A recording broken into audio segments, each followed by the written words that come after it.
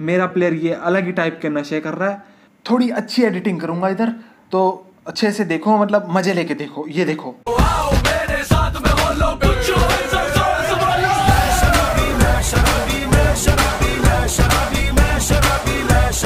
हाँ इससे बैंडेड नहीं उठ रही, पर ये अभी खत्म नहीं हुआ, ये देखो।